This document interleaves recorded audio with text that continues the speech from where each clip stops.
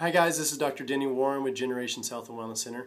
And in this video, it's kind of a joke, but it's going to help you understand more about how much control and power you have over your genes. So scientists, you know, a lot of times, let me back up, a lot of times you actually hear that a lot of people are sick or they have some illness or disease in their body because it's genetic. Maybe grandfather had diabetes and, and the mother had diabetes and now you have diabetes. Well, that's something that runs in your family, so it's blamed. Oftentimes, it's blamed on your genes.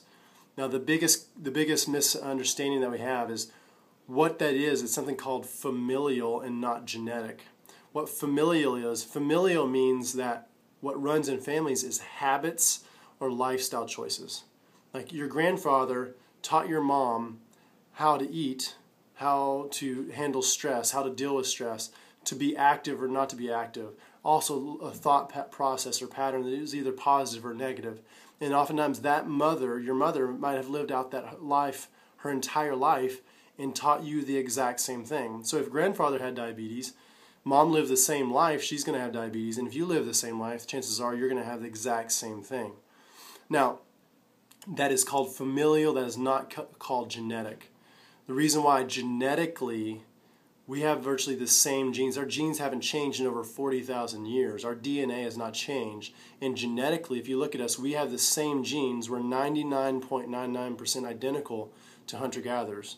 In fact, from a genetic standpoint, every single person watching this, you are a Stone Age hunter gatherer. And the reason why that's so important is because when you study hunter gatherer populations and tribes, they didn't have heart disease, they didn't have diabetes, they didn't have obesity, they didn't have um, autoimmune diseases. They didn't have skin conditions, they had acne, acne or eczema. They had perfectly straight teeth, no crooked teeth at all, no cavities that didn't even brush or floss. So they, this is your genetic potential because you have the same blueprint that they have.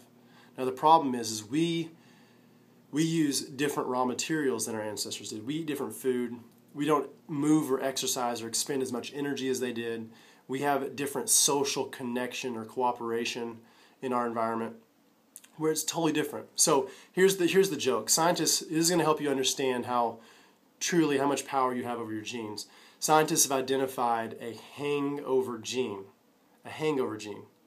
So if you think about sometimes you think about you know somebody in your life that could get drunk one night, could drink alcohol and get drunk, and then the next day they could wake up and run a 5K, go do some manual labor, go do some yard work. Like nothing ever happened, like it's no problem at all that person probably does not have the hangover gene.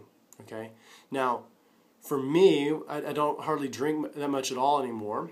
Uh, but if I did go to a party in college and I got drunk, then I would be wiped out for the next day. I mean, the, I mean the entire day, even until dinner time, I'd still feel really, really lousy. So I'm sure that I had either one hangover gene or maybe two from both parents. I probably had two hangover genes that as soon as I drank that alcohol and I got drunk, then the next day was worthless. So here's the thing you think about that and you think, well, now I can blame all of my hangovers on my parents because it's a genetic, it's a genetic disease that I inherited from my parents. I hope you hope you're seeing that I can't blame that on my parents because it wasn't my parents' fault that made me put that toxin into my body that caused my genes to change the expression.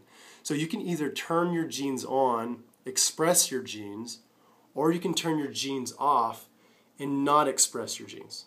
So by drinking the alcohol, by drinking that toxic alcohol, what was happening is I was turning my hangover gene on. I was expressing it.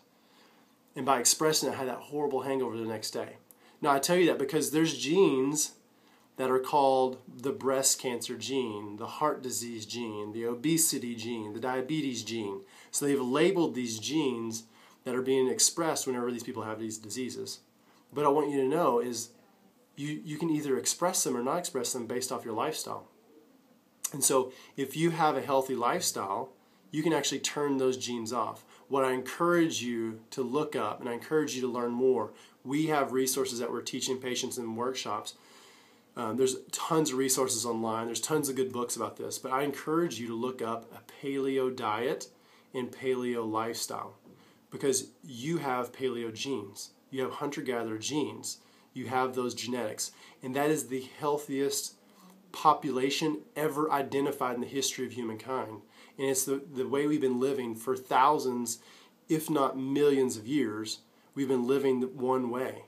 And so here's what I want you to know is you have amazing potential to turn on all of the amazing genes in your body, to express health and vitality your entire life until the day that you die and be productive till the day you die. And you can have the ability to turn off those disease promoting genes, the ones that are the breast cancer genes, the hangover genes, the diabetes genes. You can turn those off or not express those. That's going to give you a better quality and quantity of life and help save you thousands, if not millions of dollars treating those illnesses and diseases. So I hope this helps. I hope this gives you a word or a sense of encouragement about what you have going on. If you have any questions, please, I'm always available. You can always call, you can contact us, and we'll, we can talk about it. But have a great day, and I'll see you in the next video.